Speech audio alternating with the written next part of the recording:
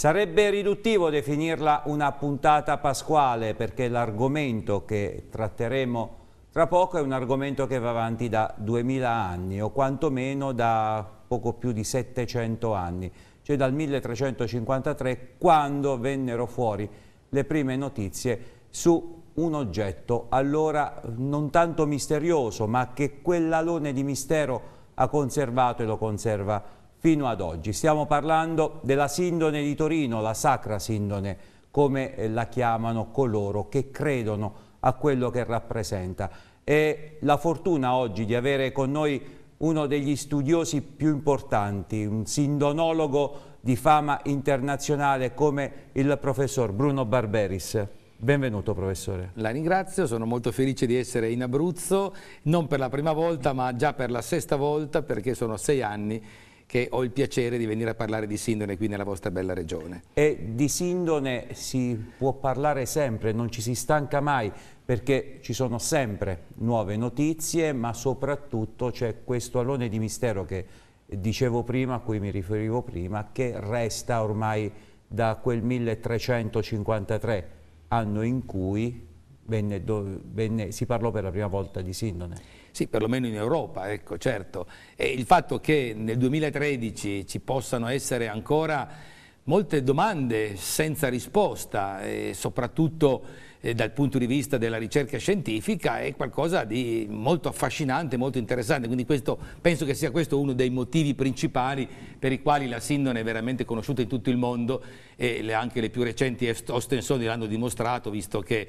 eh, milioni di persone sono arrivate a Torino per vedere la Sindone. Allora, della Sindone i Vangeli ne parlano due volte, non lo stesso Vangelo.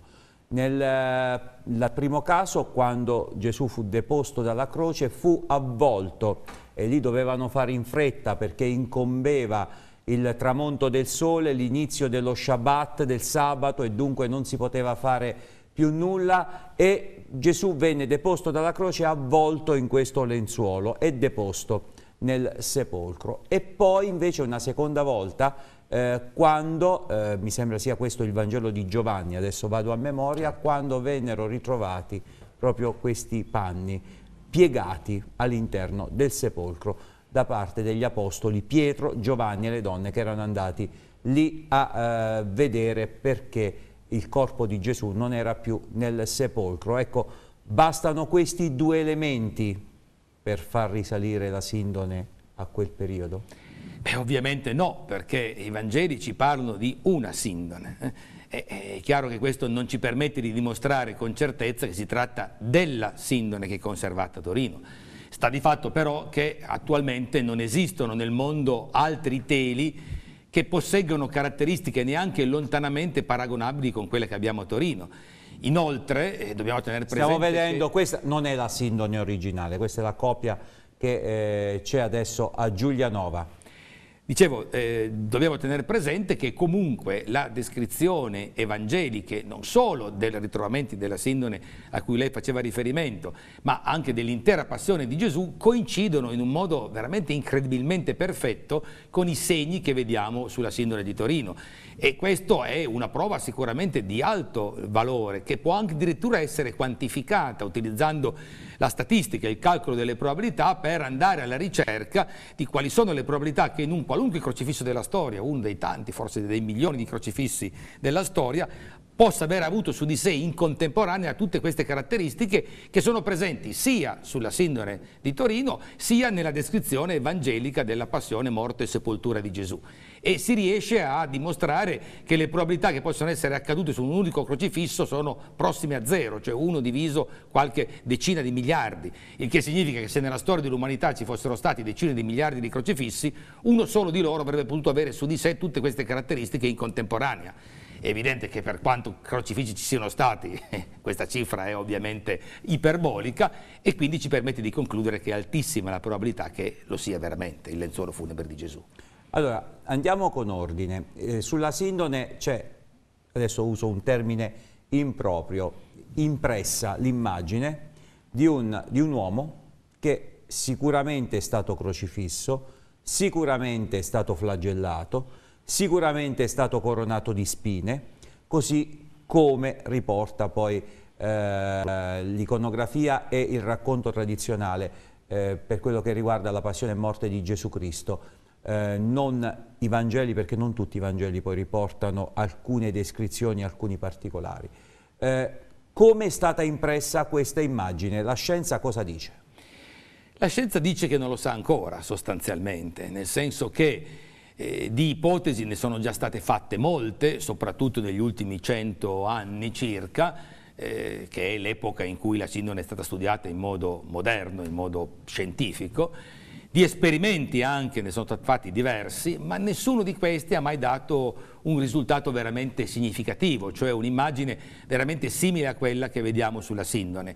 E ormai sappiamo, io posso fare tutti gli esperimenti che voglio, tutte le ipotesi che voglio, ma finché non riesco a dimostrare sperimentalmente di essere riuscito a ottenere un'immagine identica a quella che vedo sulla sindone, non posso dire di aver capito come si è formata l'impronta.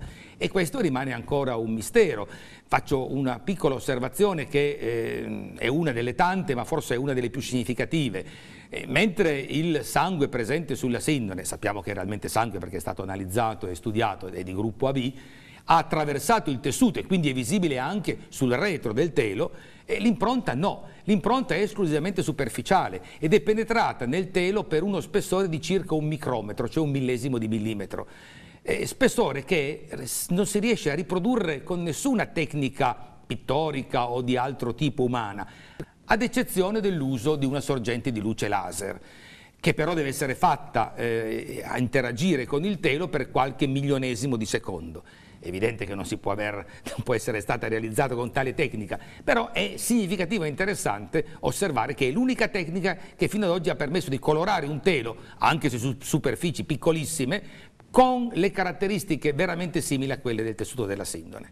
Quando a cavallo degli anni eh, 80 e 90 ci fu questa eh, prova al carbonio e eh, venne fuori la storia che questo telo era di provenienza medievale, eh, avevate perso tutte le speranze?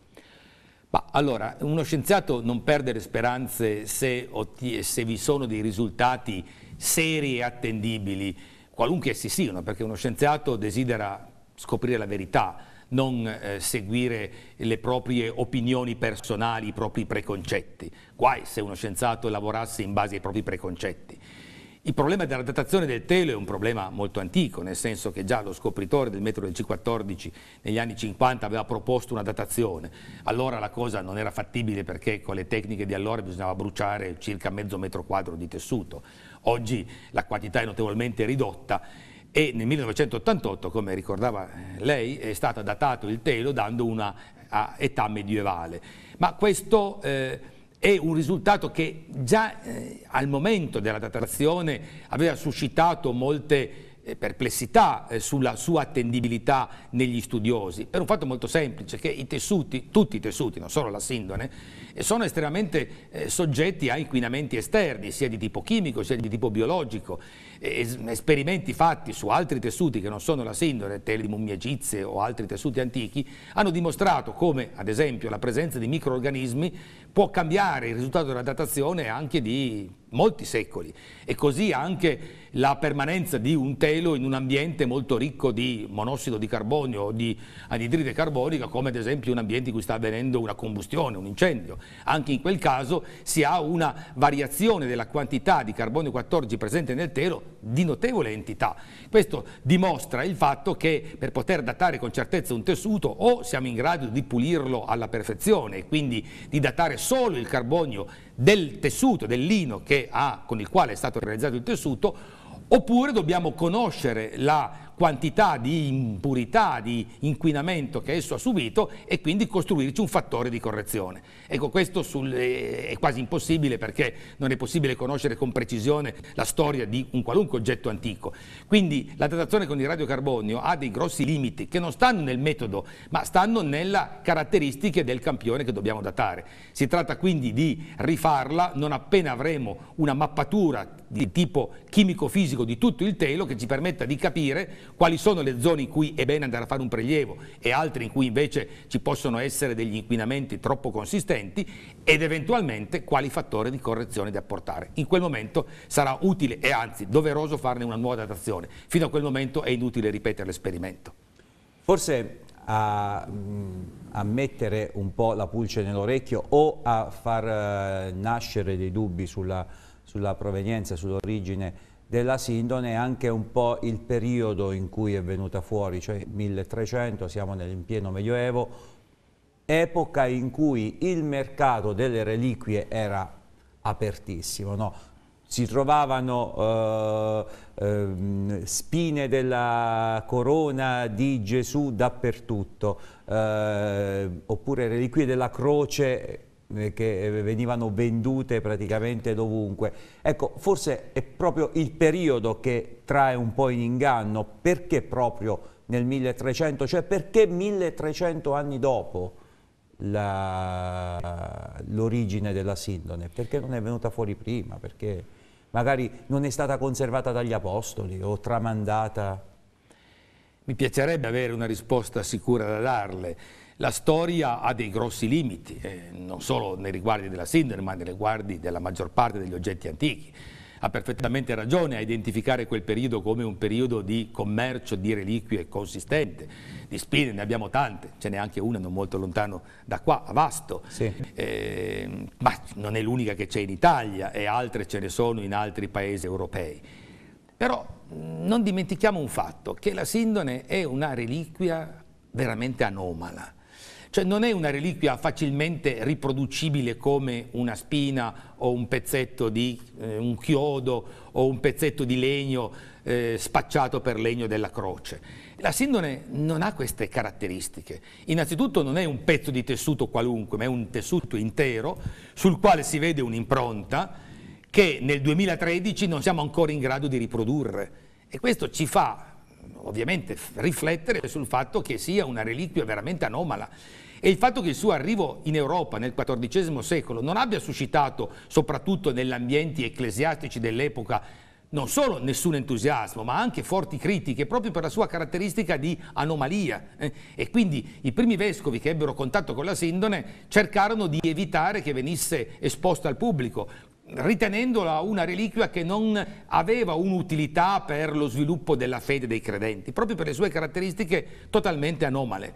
Questo ci fa ritenere che non possa essere stata fatta commercio nel senso tradizionale del commercio di reliquie.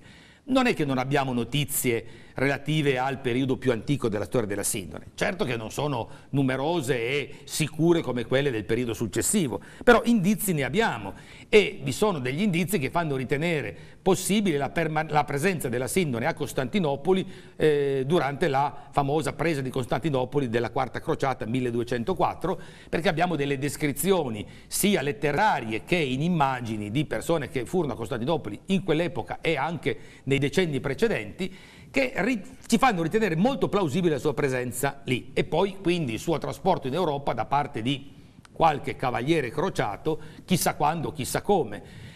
E alcuni fanno l'ipotesi che siano stati i templari a trasferirla dal Medio Oriente in Europa, ma anche lì non abbiamo notizie certe e abbiamo solo degli indizi che sono molto labili. La storia ci può dire abbastanza poco, ma la cosa importante è che la sindone ce l'abbiamo, è lì, è qua la possiamo studiare oggi con le conoscenze di oggi, fra 50-100 anni con quello che sapremo fare allora e sarà molto di più di quello che sappiamo fare oggi ed è quello lo, la linea sulla quale potremo imparare di più, non solo sulle sue caratteristiche, ma forse addirittura sulla sua storia. Ce l'abbiamo e abbiamo rischiato di perderla più volte, no? È, un miracolo, a volte possiamo dire, che la Sindone sia ancora qui perché quelle bruciature che si sono viste sul telo, eh, quelle sono frutto di un incendio che praticamente aveva devastato il Duomo di Torino e che invece poi c'è stato anche un incendio precedente, nel quale la, la Sindone era stata colpita, e beh, è arrivata integra possiamo dire, perlomeno nella figura dell'uomo che è raffigurato lì ai nostri giorni, è un miracolo? Bah, adesso io sono uno scienziato e mi sembra difficile usare la parola miracolo per un fatto del genere, però effettivamente dobbiamo ritenere che l'incendio di Chambéry, che la danneggiata e i danni eh, i telespettatori li stanno vedendo in modo chiaro ed evidente, sono danni che hanno danneggiato l'immagine in modo molto marginale. Potevano sì, perché lì la Sindone era ripiegata ed, ed il, il, fuoco attaccò solo gli angoli. No? E, diciamo solamente un lato di questo tessuto ripiegato e delle gocce di metallo fuso la perforarono da cima a fondo, ma in una zona, sì, cancellato l'impronta delle braccia e in parte delle spalle, ma non ha danneggiato parti considerevoli. L'incendio di Torino, che lei ha ricordato, del 1997, ha distrutto totalmente la cappella, ma per fortuna non ha danneggiato neanche minimamente la sindone perché era stata tolta dalla cappella qualche anno prima per consentire quei lavori di restauro che probabilmente sono la causa dell'incendio. Poi chissà quali altre avventure ha vissuto nel passato che non conosciamo e non conosceremo mai. Sta di fatto che effettivamente un tessuto di tale antichità ci è giunto in condizioni veramente ottime e quindi abbiamo tutta la possibilità di poterlo studiare veramente a fondo. La Sindone e i Savoia. Bella Beh, storia anche questa. Una bella storia, i Savoia l'hanno acquistata o ricevuta in dono nel 1453 e l'hanno posseduta eh, fino al 1993 quando Umberto II nel suo testamento la lasciò alla Santa Sede. Adesso è del Vaticano. Adesso è del Vaticano, certo. E i Savoia però eh, penso che abbiano fatto un ottimo lavoro di conservazione, erano molto orgogliosi, molto fieri di possedere la Sindone, la ritenevano il segno eh, di un particolare dono divino alla dinastia, ma eh, grazie a questo loro orgoglio l'hanno conservata come meglio non potevano e dobbiamo dire grazie anche a loro se è giunta a noi in ottime condizioni. Lei ha prima ha citato eh, la reliquia che si trova a pochi chilometri da qui, ancora meno, eh, meno, minor numero di chilometri da qui, c'è un altro volto del Cristo, il, a Manoppello c'è il telo del volto santo, lo ha visto mai lei? Sì, sì, l'ho visto è un volto di notevole interesse che sicuramente dal punto di vista storico ha un enorme interesse.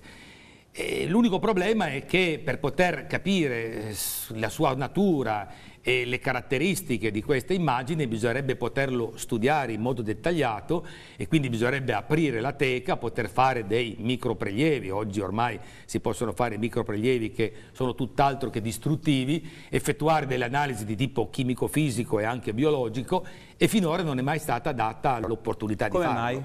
Evidentemente la proprietà non lo vuol fare, io non, non, questo il motivo non lo so, però eh, per poter fare delle affermazioni certe l'unico modo è poterlo studiare, la sindone è stata studiata in moltissime occasioni, anzi qualcuno la definisce l'oggetto più studiato al mondo.